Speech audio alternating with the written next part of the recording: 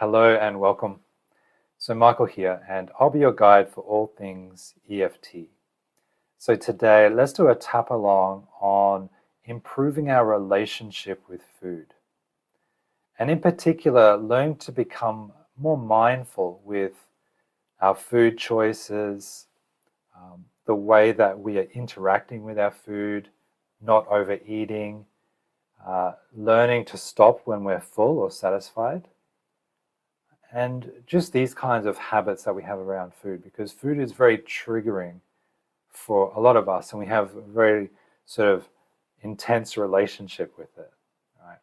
So this tap is to help sort of take the edge off this maybe reduce a bit of stress around food so that when you are working with it is that the relationship feels more harmonious more clear rather than sort of impulsiveness which is the opposite of being aware, basically.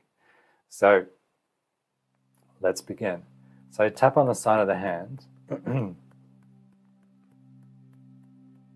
Take a moment.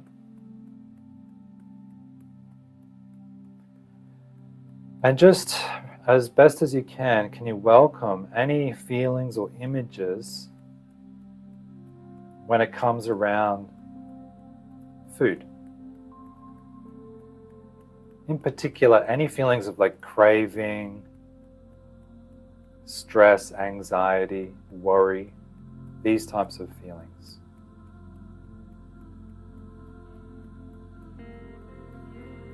And just let them come through the mind without trying to analyze it. In EFT, we don't analyze, we're not trying to work things out cognitively we are focusing on the stressful impulse underneath it all. And when we neutralize those, those stressful impulses, then everything shifts, including the mind's thinking. So we don't really need to analyze everything. Good.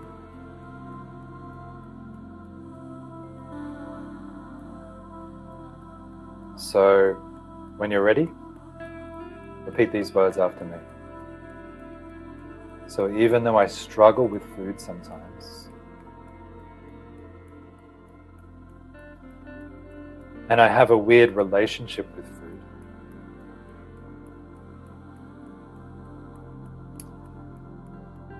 in some ways it controls me. And in some ways, I like to control it. And this relationship stresses me out. And that's okay. I fully and deeply accept myself anyway.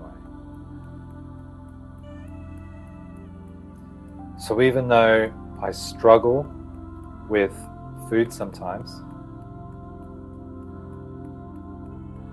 I struggle with cravings, I struggle, I struggle with impulsiveness. I struggle with indulgence.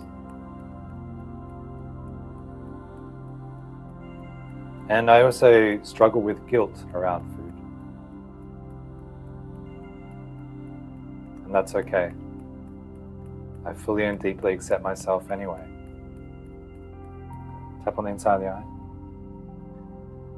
So, all these cravings around food, it, it overwhelms me.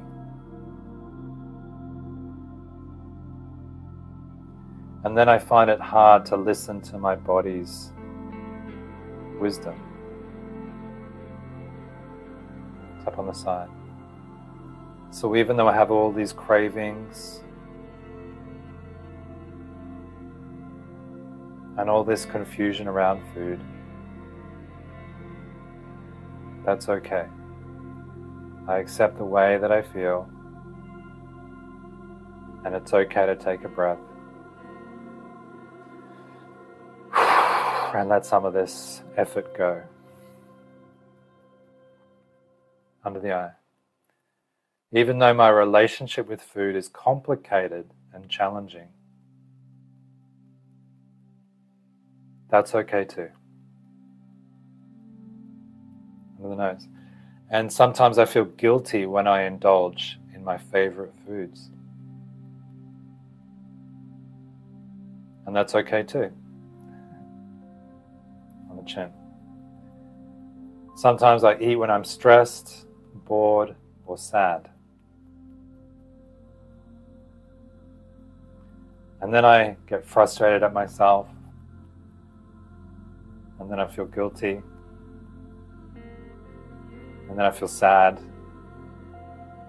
And then I eat again because I'm stressed, bored, sad. And the cycle just seems to go on and on forever. Tap on the chest. But I'm open to the possibility that I can change the way I approach it.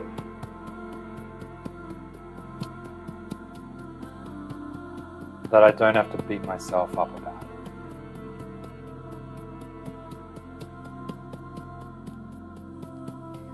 And that I can develop a healthy relationship with food.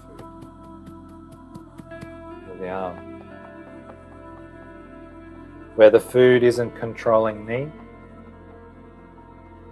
and I'm not controlling it. I can just let it be what it is. Top of the head. And all the guilt, all the worry, all the shame around food. Maybe it's time to let some of it go. Eye. It's time to let those feelings go. Tap on the side. It's time to embrace a new way of being with food.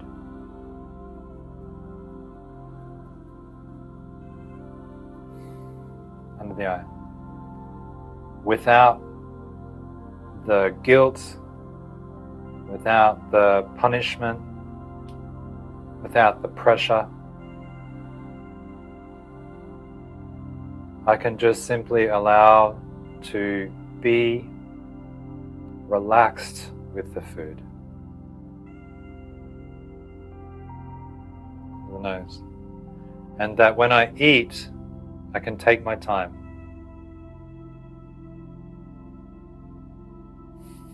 Got on the chin. And I and that I become aware of when I'm full. And it's easy to know when enough, when I'm full. Tap on the chest.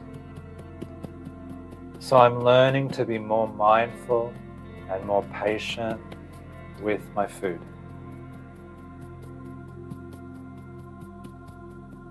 And I'm letting go of the control it has over me.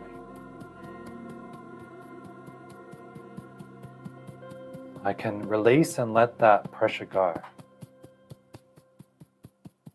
under the arm. And I'm learning to trust that I can make good decisions with food. Wisdom sensitivity, awareness.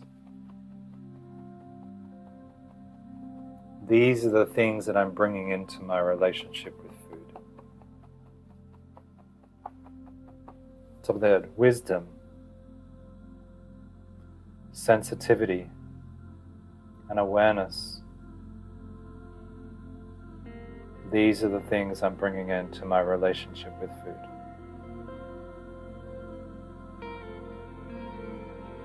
Up on the inside of the eye. I find it easy to stop eating when it's time.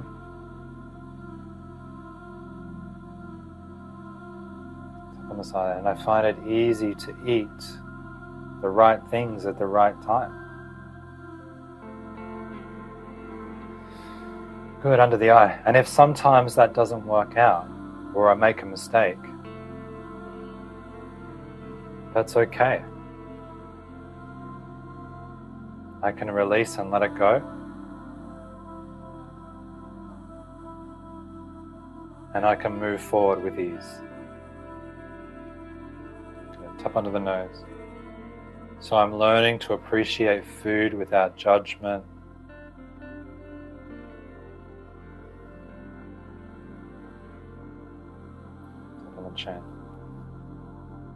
And I'm learning to bring in more balance and joy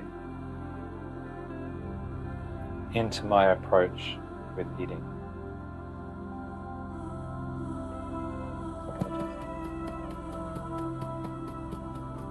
And so it's safe now to let go of all that effort and struggle, all that criticism, judgmentalism, guilt, shame.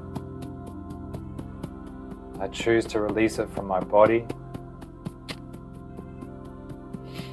I choose to release it through my breath.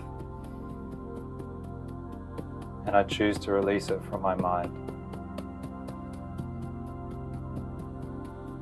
And I fully and deeply love and accept myself no matter what. Take a breath, relax the tap. Take a sip of water.